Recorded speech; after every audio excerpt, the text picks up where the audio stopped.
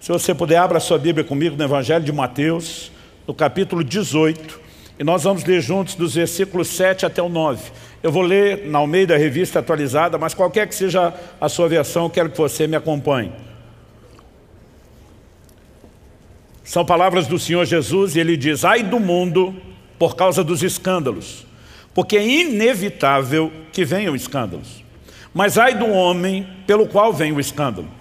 Portanto, se a tua mão ou o teu pé te faz tropeçar, corta-o e lança-o fora de ti. Melhor entrares na vida manco ou aleijado do que, tendo duas mãos ou dois pés, seres lançado no fogo eterno. Se um dos teus olhos te faz tropeçar, arranca-o e lança-o fora de ti. Melhor entrares na vida com um só dos teus olhos, do que tendo dois, seres lançado no inferno de fogo. Jesus faz uma afirmação categórica, absoluta, não merece discussão, não é de difícil interpretação. Ele diz, é inevitável que venham escândalos. Então essa classificação de Jesus mostra que os escândalos são inevitáveis. Mas logo depois ele diz, ai do homem por meio do qual vem o escândalo. E depois de dizer, ai desse por meio do qual vem aquilo que é inevitável que venha, ele fala a respeito de se a tua mão ou o teu pé te faz tropeçar. Qual a ideia de tropeçar apresentada aqui? Eu quero chamar a sua atenção para o significado da palavra traduzida escândalo. Eu creio que a palavra escândalo, que é muito próximo do que aparece lá no original do grego antigo, no koiné, que é escandalon, ela não resume exatamente o que está sendo dito. De acordo com o dicionário Vine, a palavra escândalo, ele diz o seguinte, originalmente era o nome da parte de uma armadilha, na qual se colocava a isca, por conseguinte a armadilha ou a própria isca. No Novo Testamento, escândalo sempre é usado metaforicamente, na maioria das vezes, acerca de qualquer coisa que desperta preconceito ou torna-se obstáculo para outros ou os leva a cair no caminho. O léxico de Strong apresenta o significado de escândalo assim, uma vara móvel ou gancho de uma armadilha, vara de armadilha, armadilha, cilada, qualquer impedimento colocado no caminho e que faz alguém tropeçar ou cair, pedra de tropeço, qualquer pessoa ou coisa pela qual alguém torna-se presa no erro ou pecado. A tradução brasileira, de 1917, que teve como um dos consultores da língua portuguesa, nada menos do que Rui Barbosa, traduziu assim, ai do mundo por causa dos tropeços. A nova Almeida atualizada diz, ai do mundo por causa das pedras de tropeço. E a nova versão internacional, uma tradução que a gente chama de pura equivalência, não literalidade, ela interpretou e diz, ai do mundo por causa das coisas que fazem cair no pecado. Na nossa cabeça a ideia de escândalo é quando a vergonha de alguma coisa errada cometida por alguém é exposta. E normalmente nós pensamos em escândalo como o problema de alguém veio à tona e se tornou conhecido de outros. Mas por mais que a vergonha tenha sido compartilhada e tornada pública, nós ainda pensamos que é o problema só da pessoa. A ideia de escândalo na Bíblia não é apenas o pecado que alguém comete, é o impacto que isso tem na vida de outros. Tem muito mais a ver com o dano a terceiros do que apenas o pecado propriamente dito. E eu quero que a gente possa olhar devidamente para o que o Senhor Jesus falou. O tema da minha mensagem hoje é uma pergunta. E ele faz muito mais sentido quando a gente olha ali o aspecto ortográfico, né, a, a grafia, a escrita do que só falar. Né, porque aqui nós temos duas perguntas. Escândalos inevitáveis e ao mesmo tempo, separando o in, a pergunta é escândalos evitáveis. Jesus começa falando que é inevitável que venha escândalos. Então a classificação de escândalos como inevitáveis é bíblica. Mas no mesmo texto, Jesus vai para uma linha de pensamento e aplicação prática, onde ele mostra que os escândalos são evitáveis. E não, ele não está se contradizendo, né? apesar do, do paradoxo, da aparente contradição a palavra de Deus não se contradiz, Jesus não está se contradizendo. E eu quero mostrar que as declarações dele, que vem no mesmo texto, não são divergentes, elas são complementares. Há uma perspectiva de aplicação para a classificação de inevitável e há uma perspectiva bíblica de aplicação para aquilo que é evitável. Mas antes que a gente fale disso, eu gostaria só de chamar a sua atenção que os escândalos podem ocorrer quando falamos do tropeço colocado diante de outros, por meio da decepção, da falha de de alguém, né, o que isso gera na vida de outros, como também por deliberada tentativa de prejudicar outros. Numa das sete cartas às igrejas da Ásia, no Apocalipse, no capítulo 2, no verso 14, Jesus fala assim, Tenho todavia contra ti algumas coisas, pois que tens aí os que sustentam a doutrina de Balaão, o qual ensinava Balaque a armar ciladas, colocar armadilhas, aqui escândalo, diante dos filhos de Israel, para comerem das coisas sacrificadas aos ídolos.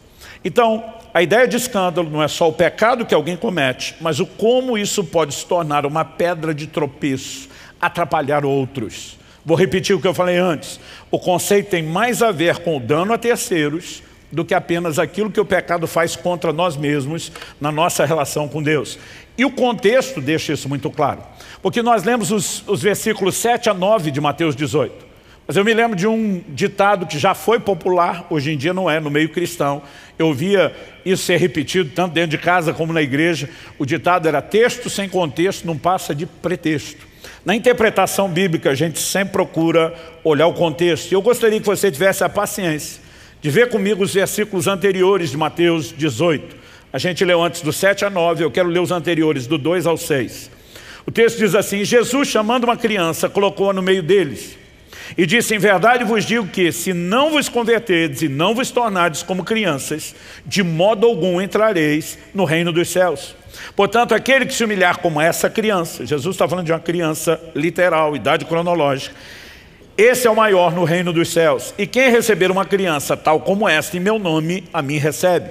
Qualquer, porém, que fizer tropeçar, fizer tropeçar aqui, é por escândalo Qualquer, porém, que fizer tropeçar a um desses pequeninos que crê em mim, melhor lhe fora que se lhe pendurasse ao pescoço uma grande pedra de moinho e fosse afogado na profundeza do mar. Jesus toma uma criança literal e ele, a partir disso, começa a falar, se o comportamento de vocês não for semelhante a uma criança, não há menor chance de que você possa desfrutar do reino. Mas depois ele diz, quem fizer uma criança como essa tropeçar, e a partir daqui que a ideia de tropeço, de escândalo aparece. Então ele diz, ai do mundo por causa dos escândalos. Ai do mundo porque eles trazem dor, eles trazem vergonha, eles trazem decepção, o seu estrago é inestimável. Mas ele também diz, ai do homem por meio do qual os escândalos vêm. Daqui a pouco nós vamos mexer no assunto de juízo sobre os promotores de escândalo. Mas antes disso, eu gostaria de chamar a sua atenção que Jesus está tentando proteger essas crianças. E isso precisa despertar em mim e em você uma consciência. Como igreja, como cristãos e ao mesmo tempo como cidadãos de uma sociedade que deveria proteger melhor as suas crianças. Nós estamos vendo o nível de abuso que estão tentando impor sobre as nossas crianças e nós não podemos assistir isso calados. Hashtag fica a dica. Voltando para o texto bíblico, o Senhor Jesus fala de crianças literais, mas quando você olha o ensino bíblico, nós não podemos excluir, embora a aplicação primária sejam de crianças literais, nós não podemos excluir aquelas que classificamos como espirituais. Em 1 de Pedro 2,2, a Escritura diz, como crianças recém-nascidas, desejem o genuíno leite espiritual, para que, por ele, lhe seja dado crescimento para a salvação. Então você vai ter adultos de idade avançada que acabaram de nascer de novo, espiritualmente falando, são crianças. Obviamente Jesus não falava só dessas pessoas. Mas quando ele fala de não escandalizar os pequenos que creem nele, são os pequenos, os baixinhos literais, mas são aqueles de uma estatura espiritual ainda não desenvolvida, que também são sujeitos a um forte impacto que o nosso comportamento, seja positivo ou negativo, pode proporcionar. É diante dessa ideia que o Senhor Jesus vai apresentar o seu ensino. E eu acredito que nós precisamos ter isso muito claro na nossa mente. A vida cristã não diz respeito apenas à forma como eu e você nos conduzimos diante de Deus, mas a maneira como eu e você decidimos nos conduzir diante de Deus vai afetar a vida de outras pessoas e nós precisamos levar em conta os outros e não apenas a nós mesmos. A pergunta a ser feita é qual o impacto que o bom testemunho tem na vida de outros. E ao mesmo tempo, a outra pergunta a ser feita é qual o impacto que o mau testemunho pode ter na vida de outros. No meu primeiro ano como pastor, estamos falando de 30 anos atrás, eu me lembro de uma conversa que eu tive numa oficina mecânica lá em Guarapuava. Eu frequentava com uma certa regularidade a oficina, ela era de um novo convertido, recentemente havia entregado sua vida a Jesus lá na nossa igreja, estava dando os primeiros passos e eu visitava com uma certa recorrência, porque pensa num carro que ia quase tanto na oficina como eu tinha que ir ao supermercado. Eu brinco que aquele carro não podia ver um camarada assim, com um macacão sujo de graxa, que ele ameaçava dar problema. Uma vez estava dirigindo, passei perto de um cara com macacão sujo e o carro ameaçou falhar. E eu falei para o carro, larga a mão de isso aí é um borracheiro, não é nem mecânico. Pum, estourou um pneu. Vocês, vocês têm ideia de como era. Não era, era frequente. E eu estou lá conversando a respeito do carro e dos problemas que inevitavelmente estavam para acontecer. E esse mecânico falando comigo, de repente ele vira para mim ele me olha de uma maneira muito fixa e eu não consigo esquecer essa experiência de quase 30 anos atrás. E ele muda completamente a conversa. Do nada ele olha para mim e diz, pastor, nunca caia. Falei, como é que é? E diz, nunca caia. Tem muita gente olhando para o senhor. E se o senhor tropeçar, o strike vai ser grande. Eu não consigo descrever como o temor de Deus se apoderou de mim naquele momento. Eu sabia que aquele novo convertido não estava falando algo de si, da cabeça dele, ele não tinha maturidade espiritual nem para aquilo. Eu entendi que aquilo era uma manifestação da parte de Deus por meio daquela pessoa.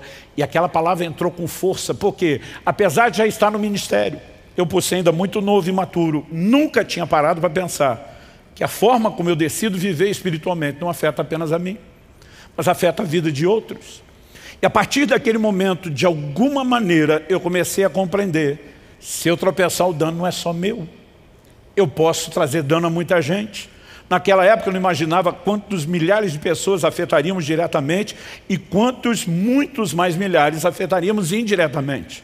Mas, desde então, eu comecei a procurar entender o que é que a palavra de Deus diz a respeito do assunto que hoje, talvez pela primeira vez nesses 30 anos, ele esteja pregando no formato de uma mensagem organizada e elaborada. E a primeira coisa que eu quero que a gente discuta é o que é evitável e o que é inevitável. Na verdade, vamos começar pelo inevitável, porque Jesus falou primeiro disso. Quando ele afirma é inevitável que venham escândalos, não tem mais o que discutir, o que interpretar, o que relativizar. O Senhor Jesus diz, vai acontecer e ponto final. É certo, a pergunta a ser feita é, quando Onde? Por meio de quem? Mas que vai acontecer, vai acontecer.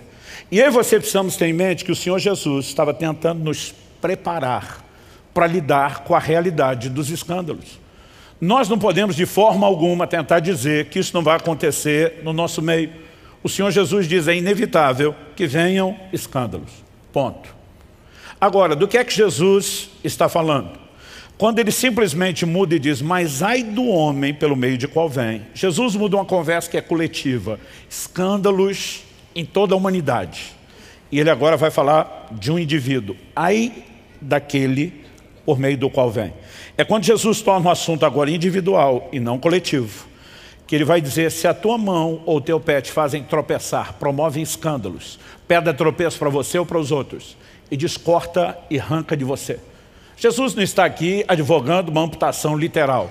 Ele não está advogando uma automutilação literal. Até porque não é a sua mão, seu pé que pecam sozinho. Eles normalmente executam o que estão dentro de você. Não adianta você se livrar deles e a maldade vai continuar dentro de você. O que Jesus está dizendo é que nenhum sacrifício é alto demais para se evitar escândalos. Mas ele está dizendo que escândalos são evitáveis. Onde? Na perspectiva individual. Vamos tentar explicar isso melhor. Quando falamos da perspectiva coletiva, em termos de humanidade, e vamos deixar de lado a humanidade quando a gente pensa nos ímpios, natureza pecaminosa, caída, governados pela velha natureza. Vamos falar de crentes que nasceram de novo, têm uma nova natureza, mas não viveram todo o processo de santificação e transformação. Ou seja, são falíveis, sujeitos ao erro, à possibilidade de queda. Nesse ambiente de fabilibilidade, esse ambiente de gente falíveis, eu vou tentar falar isso e não vai sair. Nós precisamos entender que os escândalos vão pipocar. O que Jesus está dizendo é inevitável que eles apareçam. Por quê? Eu e você não temos controle sobre a decisão de outros. Então, quando falamos dos escândalos na perspectiva coletiva, eles são inevitáveis. Não depende de nós. Mas quando ele traz o assunto para o individual, e você precisamos entender que o que a Bíblia está nos ensinando é que eles são evitáveis. Ou seja, eu e você vamos reconhecer, de acordo com o que Jesus falou, os escândalos vão pipocar por aí. Mas através de mim, não.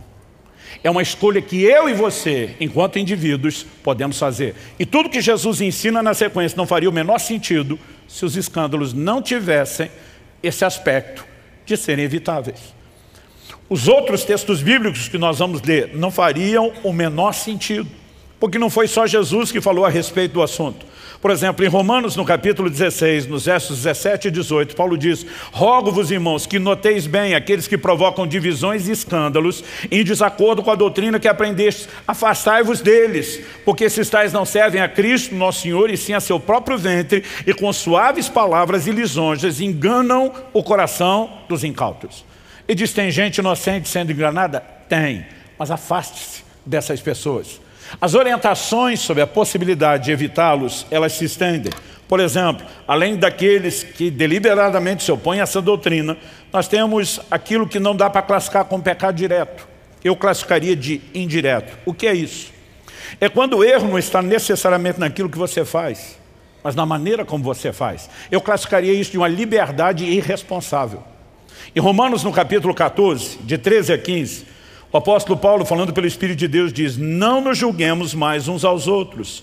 Pelo contrário, tomai o propósito de não pôr destropeço ou escândalo ao vosso irmão. Vamos fazer uma pausa. Você pode repetir isso comigo? Diga, tomai o propósito de não pôr destropeço ou escândalo ao vosso irmão. Se os escândalos não fossem evitáveis, por que a Bíblia nos mandaria firmar o propósito de evitar o escândalo? Na perspectiva individual, eles são evitáveis. Agora, Paulo continua e diz, eu sei, verso 14, estou persuadido no Senhor Jesus, de que nenhuma coisa é de si mesmo impura, salvo para aquele que assim a considera, para esse é impura. Se por causa de comida o teu irmão se entristece, já não andas segundo o amor fraternal. Por causa da tua comida, não faças perecer aquele a favor de quem Cristo morreu. Gente, para nós hoje, muitas vezes a gente não percebe o quão sensível esse assunto da alimentação era no início da igreja. Quando se conversava com os judeus, que durante séculos e séculos seguiram a lei de Moisés, havia muitas determinações classificando o que era puro e o que era impuro, o que se podia e o que não se podia comer. Paulo está tratando com toda a clareza do assunto. Ele diz, estou, eu sei, estou persuadido no Senhor Jesus de que nenhuma coisa é impura. Ele começa Romanos capítulo 14 dizendo, um crê que pode comer de tudo, o outro fraco na fé, ele chama este débil na fé, acredita só pode comer legumes. Essas disputas existiam não só no meio dos judeus, que tinham dificuldade de entender Hebreus 7,12, com a mudança de sacerdócio, a mudança de lei. Alguns deles estavam muito presos, mas quando o evangelho agora migra para o meio dos gentios, a confusão só aumentou. Porque no meio dos gentios o que eles tinham não era o entendimento de uma lei divina, eram práticas do chamado mundo pagão. Então muitos deles eram veganos não por opção de saúde, mas simplesmente por questões religiosas, porque para alguns deles comer carne era um ato profano. Então isso deu muito pano para manga no início da igreja. Paulo está dizendo, ei, eu sei, estou persuadido no Senhor que nada é impuro para si mesmo, a não ser para aquele que assim considera e resolveu acreditar nisso. Mas ele está dizendo ainda que você tem essa liberdade de entender que comer de tudo não é pecado. Se você advogar o uso da sua liberdade de maneira irresponsável e atropelar o seu irmão, você está faltando com amor e você está levando outras pessoas ao tropeço. Ou seja, errado não é só aquilo que você faz. Às vezes você pode fazer uma coisa certa e advogá-la do jeito errado e ainda assim trazer dano para pessoas que são fracas na fé. Andar em amor previne escândalos. 1 de João 2,10 diz, aquele que ama seu irmão permanece na luz e nele não há nenhum tropeço, no grego escândalo. Agora, o oposto, a falta de amor, só vai trazer dano. No verso 11 de 1 de João 2, a Bíblia diz, aquele porém que odeia seu irmão, odeia seu irmão na Bíblia não é apenas a vontade de tentar matar alguém, é a falta de se importar e de andar em amor. Aquele, porém, que odeia seu irmão está nas trevas, anda nas trevas, não sabe para onde vai, porque as trevas lhe cegaram os olhos. A Bíblia nos mostra que na perspectiva coletiva, os escândalos são inevitáveis, vão acontecer. A pergunta, como eu disse, é quando, onde, por meio de quem? Porque nós não podemos controlar a escolha de outros. Mas no âmbito pessoal, os escândalos são evitáveis, porque eu e você podemos ter gerência sobre nós mesmos, sobre as nossas escolhas e dizer, isso não terá lugar na minha vida. Definido isso, em segundo lugar, eu quero te lembrar de uma das essências do cristianismo, que é o princípio do exemplo. O exemplo não é apenas uma forma didática, ele é a forma didática. E não apenas quando falamos da formação de discípulos. O pastor Marciano falou, vocês acreditaram na gente quando eram, éramos os improváveis. E foi um bom exemplo, porque hoje eles estão acreditando em muitos de vocês também eram improváveis. Jesus diz em João 13,15, eu vos dei exemplo para que como eu fiz, vocês também façam. O ensino de Jesus não era só teórico, olha a gente, façam isso. O ensino dele era muito prático. E era fundamentado no quê? No seu exemplo. Cristo se torna a nossa referência, o nosso padrão de fé. E Paulo em 1 Coríntios 11, 1 diz, sejam meus imitadores, como eu sou de Cristo. Paulo está dizendo, eu decidi segui-lo como referencial. E à medida que eu me alinho com ele, eu me torno referencial e modelo para vocês. Quando era garoto, eu ouvi tanto na igreja uma frase que eu cheguei quase a acreditar que ela era parte da Bíblia. A frase que a gente ouvia era, não olhe para o homem, olhe para Jesus. Eu acho que essa frase fez tanto bem quanto mal. Tinha o seu aspecto positivo e negativo. Qual era o aspecto positivo? Quando alguém se decepcionava com a queda de outro, especialmente de um líder, lembrar essa pessoa de olhar para Jesus, em primeiro lugar é bíblico. Hebreus capítulo 12, verso 1, olhando firmemente para Jesus, o autor e consumador da nossa fé. Os nossos olhos devem estar nele. Agora, se a frase for usada para se eximir da responsabilidade do bom testemunho do exemplo, aí nós temos algo caótico, catastrófico. Por quê? Nós temos a responsabilidade de imitar o exemplo de Jesus e dessa forma nos tornar referencial e exemplo aos outros. E, gente, isso não diz respeito só à fé. Quando Kelly e eu lançamos nosso livro como flecha sobre criação de filhos, eu me lembro de uma live que a gente estava fazendo com alguém, a pessoa do outro lado perguntou, e aí, o que, vocês acham que é o mais importante na criação de filhos? Nós respondemos junto, como se tivesse combinado, em coro, o exemplo. Porque não adianta você dizer para os filhos, faça o que eu falo, mas não faça o que eu faço. O exemplo tem um peso, tem um poder extraordinário. E no reino de Deus é a maneira através da qual nós reproduzimos na vida de outros aquilo que temos reproduzido da parte de Cristo na nossa própria vida. Quem está entendendo, diga amém. Quando você olha para a Escritura, nós precisamos entender essa declaração. No olho para o olho, olhe para Jesus, na seguinte perspectiva, se alguém deixou de seguir o referencial, você o descarta e mantém os seus olhos em Jesus.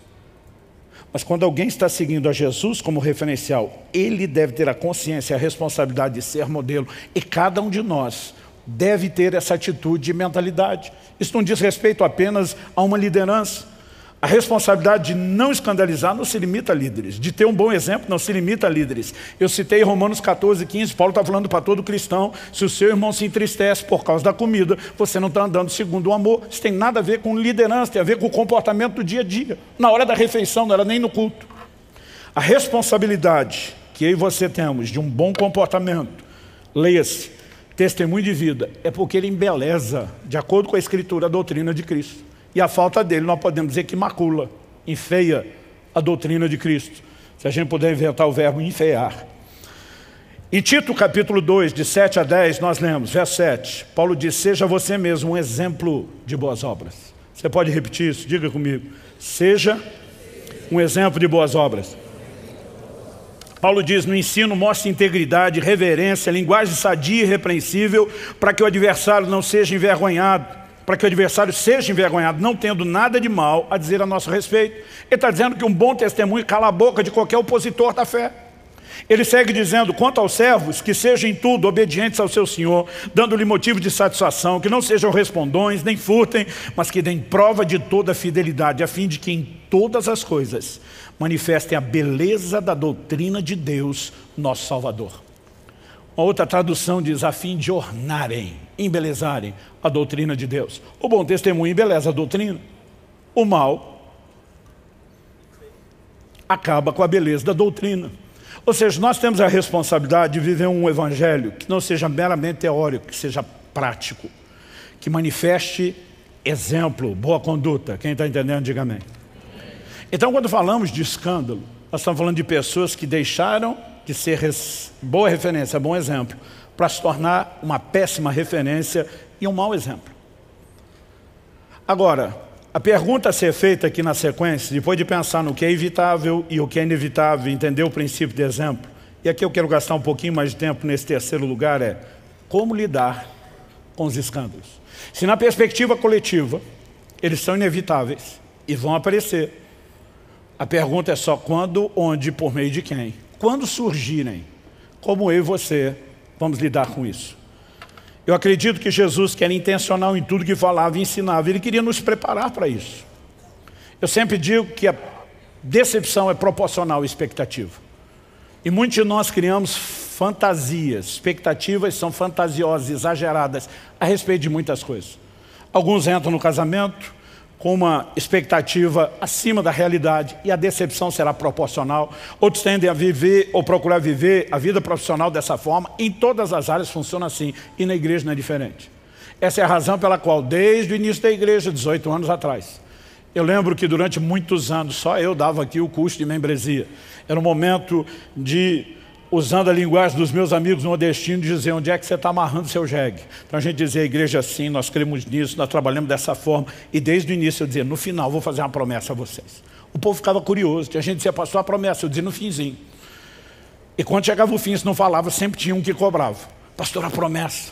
Eu dizia, a minha promessa é a seguinte, nós vamos falhar com vocês. Então eu dizia o quê? Eu dizia, eu garanto, empenho a minha palavra que nós vamos falhar com vocês. Nós não queremos, mas em algum momento eu sei que nós vamos falhar. Agora, nesse ambiente, onde nós não queremos falhar, mas vamos falhar, quando falhar, nós vamos manifestar uma grande disposição de consertar depois. As pessoas diziam, pastor, por que essa promessa? Eu dizia, porque eu quero derrubar a sua expectativa. Nós não somos um ambiente de gente perfeita. Nós vamos falhar. E quando eu olho para Jesus ensinando essas coisas, eu acredito que não é muito diferente. Nenhum de nós pode deduzir que mesmo líderes estejam acima de qualquer suspeita. Isso não existe no mundo cristão, numa fé ensinada nas Escrituras.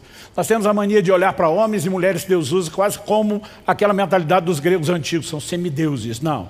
Quando a Bíblia fala de homens Deus usou como Elias, diz semelhantes a nós, sujeitos às mesmas paixões. Traduzindo, farinha do mesmo saco. Eu e você precisamos entender isso. Por exemplo, 1 Timóteo capítulo 5, verso 19. Paulo diz assim, não aceite denúncia contra presbítero. Na cartilha de alguns líderes, o versículo só vai até aqui para. Isso poderia sugerir que então eles estão acima de qualquer suspeita. Quem são os presbíteros? Não são apenas os pregadores, os pastores. Eram os homens de governo que lideravam, supervisionavam a vida da igreja. Mas ele continua e diz, não aceite denúncia contra presbítero, a não ser exclusivamente sobre o depoimento de duas ou três testemunhas.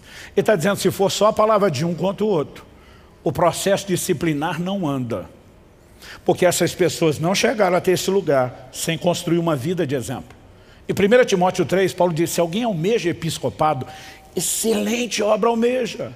Ele diz, mas o bispo tem que ser. E aí vem uma lista de qualificações. Se você só uma lista que ele faz dos bispos, na sequência dos diáconos, eliminar as repetidas, você tem uma lista de 16 características explícitas. Dá para tomar mais uma ou duas por inferência.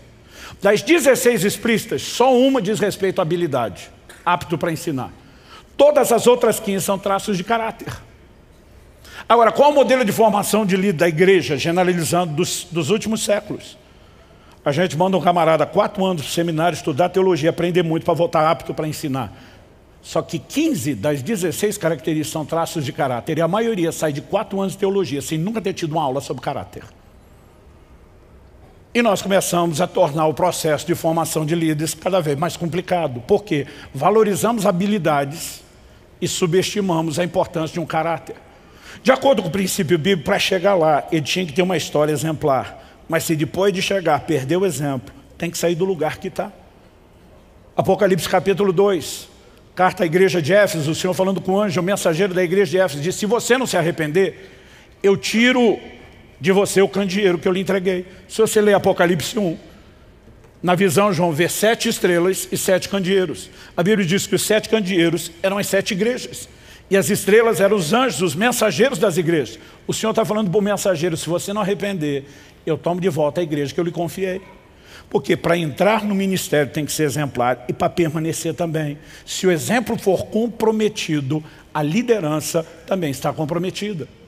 Agora, quando a Bíblia apresenta líderes falhos, sujeitos a processos disciplinares, eu e você vão tentar criar uma ideia de que isso nunca vai acontecer. Eu queria poder prometer a você que no nosso mês vai, nunca vai acontecer, não posso, até porque já aconteceu. Anos atrás, quando ainda usávamos o prédio a estrutura da Água Verde, Eu passei um dos momentos de maior dor e vergonha da minha vida. Tive que vir diante da igreja anunciar não apenas um processo disciplinar para um membro da equipe pastoral, mas tive que publicamente pedir perdão pela má conduta de um dos nossos. Eu nunca senti tanta dor no meu coração, tanta vergonha, como naquele dia que eu tive que vir a público. Ou seja, quando nós olhamos para a nossa própria história, não dá para garantir que os escândalos não acontecerão. A pergunta é, quando acontecerem, como eu e você vamos nos conduzir? Como eu e você vamos nos comportar? Agora preste atenção, isso não significa que esteja tudo bem falhar. Jesus diz, ai do homem por meio do qual vem escândalos. Sabe o que ele está dizendo? Ele diz, eu vou tratar do assunto com seriedade. É mais grave do que a maioria de vocês imaginam. Em Mateus, no capítulo 13, nos versos 41 e 42, no final da parábola do joio e do trigo, Jesus diz, mandará o Filho do Homem os seus anjos, que ajuntarão do seu reino todos os escandalon, os promotores de escândalos, as pedras de tropeço, e os que praticam iniquidade, os lançarão na fornalha acesa. Ali haverá choro e ranger de dentes. É indiscutível que haverá juízo. Jesus fala de pessoas que no último dia vão dizer, Senhor, no teu nome nós expulsamos demônios, nós profetizamos, nós curamos enfermos. Ele não vai dizer mentira, não fizeram isso. Ele não vai dizer coisa nenhuma, não foi no meu nome. Ele vai dizer, apartai-vos de mim, vocês praticam iniquidade. Eu não vos conheço. Sabe o que ele está dizendo? Vocês não me representam. Porque fazer as minhas obras sem manifestar o meu caráter não dá a vocês o direito de me representarem. Então nós não podemos olhar e simplesmente dizer, não, não vai acontecer. Ao mesmo tempo, quando acontece, a gente diz, o juízo será severo. Ao mesmo tempo, precisamos entender que pessoas, como Davi, chamado de um homem segundo o coração de Deus, que caem e se arrependem, precisam encontrar no nosso meio um ambiente de restauração. Gálatas capítulo 6, verso 1, nos fala a respeito disso. O texto diz de uma maneira muito clara, Irmão, se alguém for surpreendido em alguma falta, vocês são espirituais, restaure essa pessoa com espírito de brandura, outra versão diz com mansidão. Mas ele também diz, e que cada um tenha cuidado, para que não seja também tentado. Ele está dizendo, mesmo vocês, os espirituais, que podem ajudar a restaurar, cuida. Porque o que aconteceu com ele poderia acontecer com você. Traduzindo, ninguém está acima de qualquer suspeito. O ambiente de amor e restauração não significa um ambiente de está tudo bem, pode fazer. Nós precisamos ter uma cultura, uma mentalidade forte para fazer todo o possível, para asfixiar toda possibilidade de escândalo no nosso meio. Quem está entendendo, diga amém. E precisamos entender o assunto é sério e merece juízo, julgamento diferenciado. Mas a pergunta a ser feita é, e se alguém falhar? O que eu e você podemos fazer? Nós podemos escolher não promover o escândalo, mas não podemos escolher pelos outros. E outros escolherão promover o escândalo. E quando isso acontecer, a pergunta é como eu e você devemos nos comportar. Eu quero te apresentar quatro perspectivas e vou te dar o fundamento bíblico. A primeira delas é, não se afaste de Jesus por causa dos que tropeçaram. Você pode repetir isso comigo? Diga, não se afaste de Jesus. Vamos fazer melhor, fala para o vizinho ao lado. Pastor, não falo com estranho, se apresenta antes então. Fala para o vizinho ao seu lado, diga, não se afaste de Jesus por causa dos que tropeçaram. Em Filipenses 3,18, o apóstolo Paulo diz, pois muitos andam entre nós, está falando gente do meio, dos quais repetidas vezes eu lhes dizia, agora eu digo até chorando, que são inimigos da cruz de Cristo.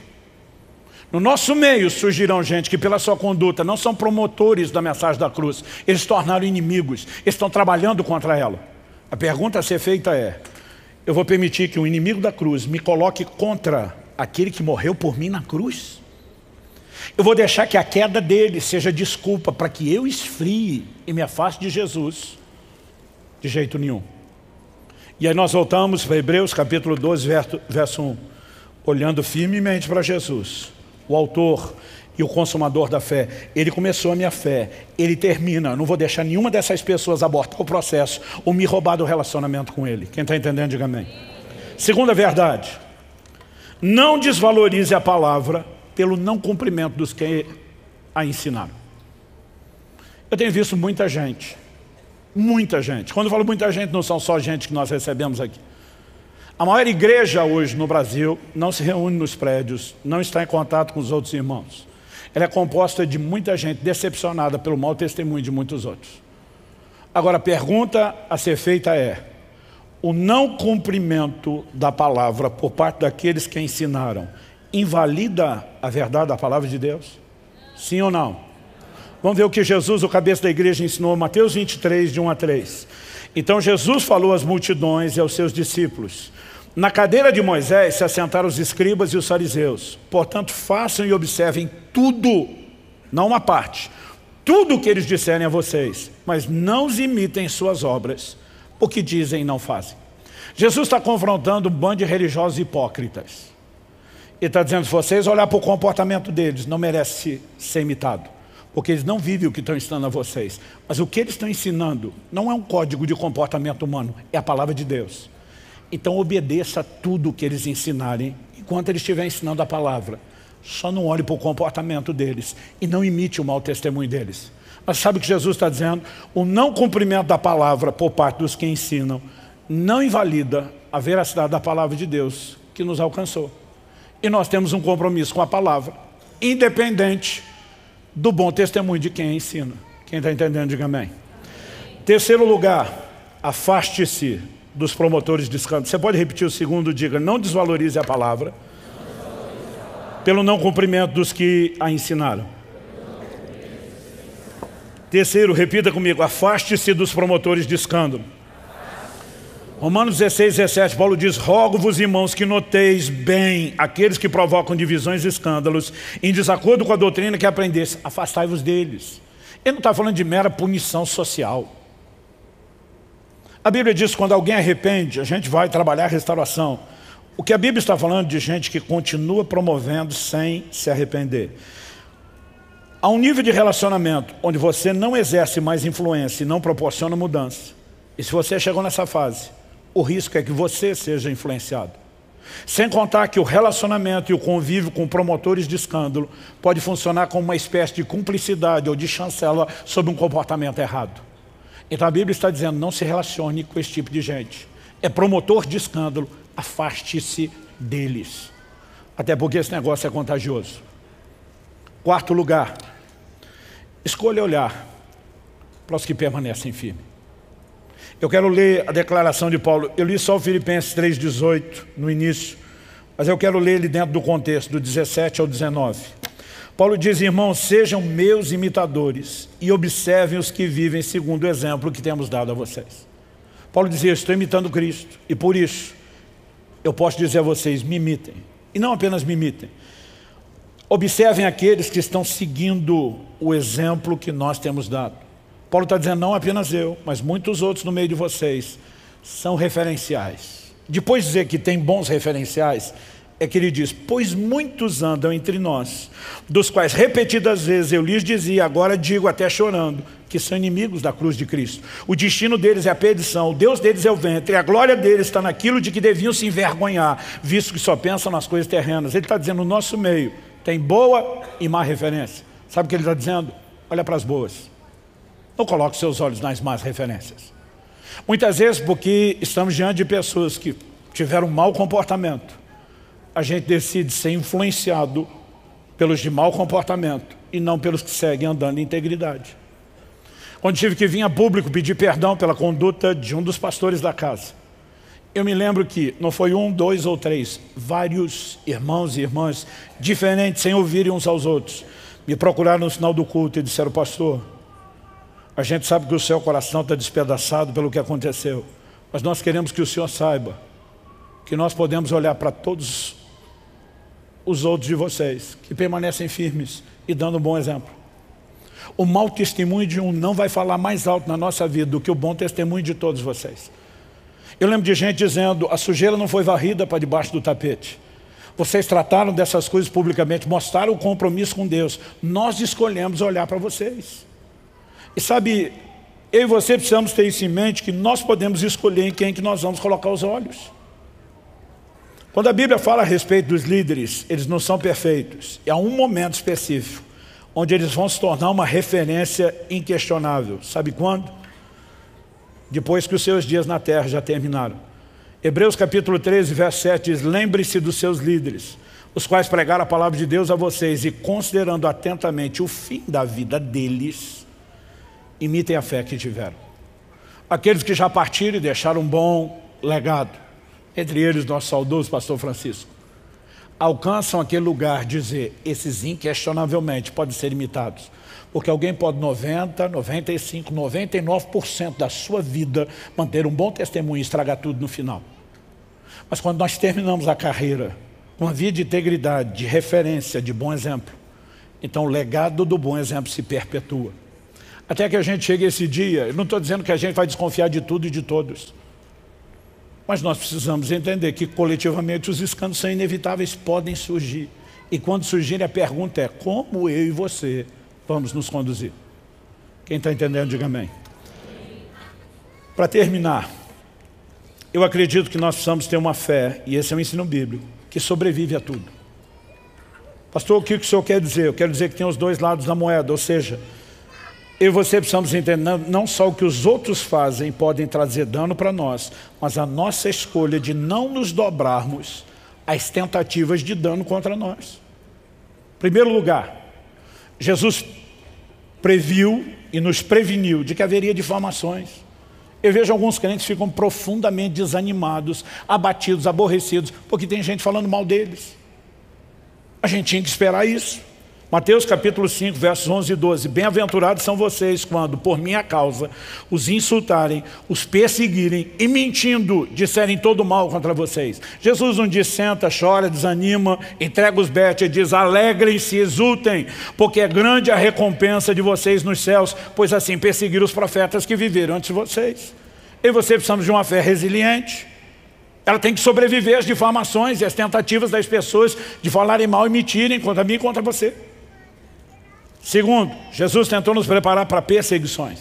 Em Mateus capítulo 10, ele diz, quando porém perseguirem vocês numa cidade, fuja para outra.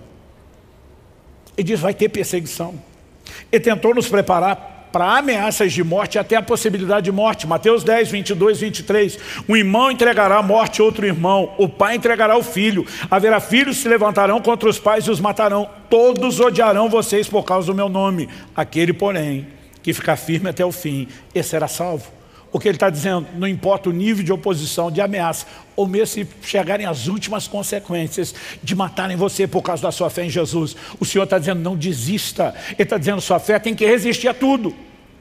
Agora, Ele nos preparou para ter uma fé que aguenta difamação, perseguição, ameaça de morte, a própria morte, mas não sobrevive a escândalo. A quantidade de gente distante de Jesus hoje, por causa do escândalo dos outros, é enorme. E de forma alguma nós estamos tentando justificar o escândalo dessas pessoas.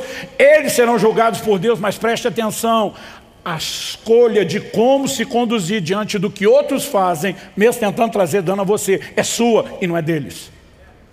Paulo escreve aos Coríntios, em 1 Coríntios 11, 18 e 19, ele diz, porque antes de tudo, estou informado de que quando se reúnem na igreja, existem divisões entre vocês. E eu, em parte, acredito que isso é verdade.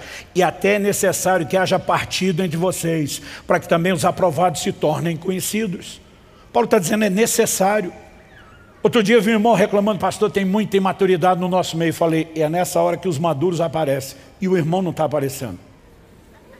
Porque sabe, é fácil ficar falando dos outros. A pergunta é como você vai reagir diante da fraqueza, da debilidade e da imaturidade dos outros, da carnalidade de outros, ou mesmo do escândalo de outros.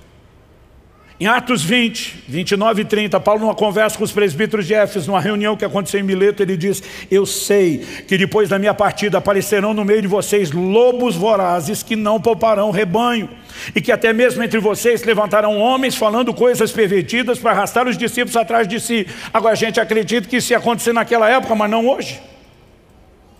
A verdade é que eu e você precisamos ter um couro um pouquinho mais forte. E nós precisamos ter um entendimento claro do que a Bíblia ensina. Na próxima fase que virá, nós teremos a responsabilidade de viver uma vida de compromisso, de integridade, de exemplo como nunca antes. Nós precisamos criar um ambiente de entendimento bíblico, de rendição ao Senhor, que asfixie toda possibilidade de escândalo. Mas se surgirem, nós precisamos ter uma resiliência de fé, dizendo meu compromisso com Jesus seguirá inalterável, independente da esculhambação dos outros. Uma fé que sobrevive a tudo. Quem está entendendo, diga amém. Para terminar, eu vou mexer na parte que alguns não gostam. O ensino de Jesus sobre escândalo incluiu o perdão aos que falham conosco. Em Lucas 17, nós temos um detalhe que na, no registro de Mateus 18 não entra. Lucas 17, 1 a 4. Jesus disse aos seus discípulos, é inevitável que existam pedras de tropeço, no grego, escândalo, mas ai de quem é responsável por elas. Seria melhor para esse que uma pedra de moinho fosse pendurada ao seu pescoço e fosse atirado no mar do que fazer tropeçar um desses pequeninos. Deixa eu fazer uma pausa antes de terminar o texto. O texto todo está tudo junto. Mas deixa eu fazer a pausa. Jesus não está fazendo apologia ao suicídio. No meu entendimento bíblico, isso precisa ficar claro para nós, enquanto igreja local.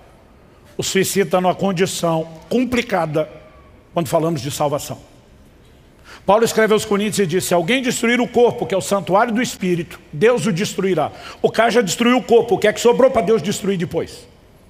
O que, que você acha que é essa destruição? Você está falando de condenação eterna. Nós podemos abrir discussões sobre casos de sanidade mental o juízo com que alguém fez uma escolha. Mas não podemos ter uma mentalidade tolerante ao suicídio. Dar fim à própria vida não é o caminho de Deus para ninguém. Que ninguém ceda a esse tipo de pressão, não importa o seu nível de desespero. Que ninguém deixe de ser misericordioso, eu diria mais do que empático, cheio de compaixão por qualquer pessoa à sua volta e que dê sinais de aflição ou sofrimento nessa hora. Nós precisamos de uma mão amiga, mais do que a mão no ombro, intercessão, oração, jejum, apoio, suporte, mas nós não podemos criar uma mentalidade de tolerância ao suicídio. Nós precisamos promover um ensino contrário. Então, não, Jesus não faria apologia ao que a Bíblia é contrária. O que é que ele está dizendo? Em primeiro lugar, ele está dizendo, se você vai escolher viver uma vida onde os escândalos entram, você não deveria imaginar que vale a pena viver esse tipo de vida. É mais importante do que viver, evitar escândalos. Outro dia alguém falou, mas pastor, se na sua teologia o suicida está pegando um passaporte meio que direto para a condenação eterna, por que, que, é melhor o cara fazer isso do que dar escândalo? Eu falei, é melhor ele ir para o inferno sozinho do que arrastar um monte de gente com ele. Dá para entender a diferença? A condenação eterna não é só dos que abriram mão da salvação, do nível pessoal. A Bíblia diz que lá cada um será julgado de acordo com as suas obras. E quanto mais gente o cara arrastou com ele para o inferno, maior será o nível de condenação que ele vai viver. Então Jesus está dizendo, é melhor você se despachar para lá, sozinho, do que arrastar mais gente com você, porque a coisa vai ficar ainda pior. Mas não, Jesus não está dizendo faça isso. Ele está dizendo não vale a pena viver para se tornar um promotor de escândalo. Então, se eu e você entendemos isso, nós não vamos dar fim à vida. Nós vamos escolher viver da forma correta. Deu para entender? Depois de deixar claro o assunto, Jesus emenda e diz, tenham cuidado. Cuidado com o quê? Se o seu irmão pecar, repreenda-o. Se ele se arrepender, perdoe-lhe. Se pecar contra você sete vezes num dia, sete vezes vier para lhe dizer, estou arrependido, perdoe. O assunto do perdão é extenso. Mas eu tenho visto muita gente que machucado pelo mau testemunho de outros, permite que o veneno comece a entrar no seu coração. Alguém definiu o ressentimento mais ou menos com o seguinte exemplo para indicar a falta de inteligência dele.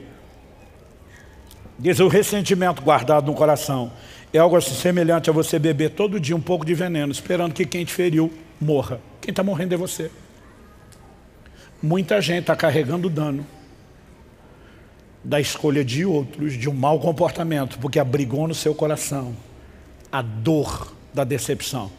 Quando Jesus diz, ai do mundo por causa dos escândalos, gente, isso é trágico. Não há outra forma de definir. Mas eu e você podemos parar o efeito disso no nosso coração. Nós podemos ter uma blindagem em Deus, onde a gente diga, eu não vou sucumbir à escolha errada de outros. Estão me entendendo? Para concluir, reconheça que quanto a outros os escândalos são inevitáveis. E nessa perspectiva, prepare-se para eles. Mas reconheça que quanto a você, a perspectiva individual, os escândalos são evitáveis. Não faça suas escolhas de forma egoísta ou leviana. Um crente quando tropeça nunca está afetando só a si. Nunca está prejudicando só o seu relacionamento com Deus. Ele vai afetar outras pessoas. Reconheça que você é um candidato e procure andar em vigilância, usar os recursos de Deus. Eu tenho uma oração que eu faço desde o início do ministério. Eu com frequência digo a Deus, Senhor, se algum momento a corda for romper para o meu lado, eu não for segurar a onda, eu não for dar conta, eu lhe imploro que o Senhor me leve antes. Significa que eu não quero viver? Não. Significa que não vale a pena viver se for para macular o nome do Senhor, se for para desonrá-lo. E já falei para minha mulher e toda a equipe pastoral, se eu for embora cedo, não ore para eu ressuscitar. Porque só há uma possibilidade de eu ir embora cedo. É Deus me poupar de alguma bobagem. Então vocês estão proibidos de orar. Significa que eu estou esperando que isso aconteça? Não. À medida que eu oro isso dia após dia, dia após dia, eu estou me lembrando que antes de qualquer escolha, eu preciso ficar longe do escândalo e honrar o Senhor. Porque se naquela época, cuidando de algumas poucas centenas de pessoas, a advertência do mecânico lá era o strike será grande, eu fico imaginando hoje o lugar que eu estou. Eu não tenho direito de tratar o ministério como se fosse só um privilégio, não uma responsabilidade. Isso aqui é um bom motivo para ficar longe dos escândalos. Jesus diz, se você os evitar, você entra na vida. Ele diz, mas os meus anjos vão recolher os promotores de escândalo, vão lançar no fogo do inferno. Eu acho que só isso já era motivo suficiente, mas ainda seria uma perspectiva egoísta. Nós precisamos pensar não só em nós. Nós precisamos pensar no impacto que a nossa maneira de viver terá sobre as pessoas. Talvez você não escolheu uma vida de pecado, mas talvez você escolheu ser um crente medíocre, na média. Para não dizer abaixo dela, meia boca. A pergunta é qual o impacto que você está exercendo sobre as outras pessoas. Ah, pastor, não desviei ninguém, mas quanta gente se inspira?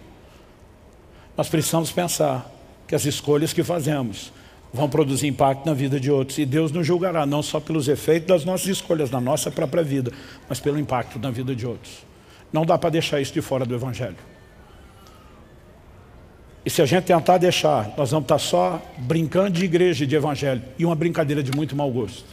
Então que Deus nos ajude, debaixo do temor do Senhor, a entender a importância de uma vida de santificação, de integridade, de compromisso, de fidelidade e de bom exemplo. Se nós queremos passar de fase, nós vamos ter que entender isso de uma maneira bem mais profunda. Você recebe essa palavra em nome de Jesus? Alguns falaram amém, em vez de amém. Vamos ficar em pé para parecer que está acabando. Senhor Jesus, nós suplicamos graça e favor do alto, para que haja não só entendimento racional, mas espiritual da Tua palavra. Para que haja aquela aplicação personalizada que só o Teu Espírito pode produzir. Para que a Tua palavra, como o Senhor falou por boca do profeta, cumpra o propósito pelo qual tem sido enviado. E nós oramos que não seja só aqui e agora, nessa reunião. Mas que depois deixarmos esse lugar, que aquilo que o Senhor começou continue. Que mais do que informação, mais do que alinhamento, a Tua palavra produza resultados maiores e progressivos na nossa vida. Que o temor do Senhor toque de uma forma particular os nossos corações.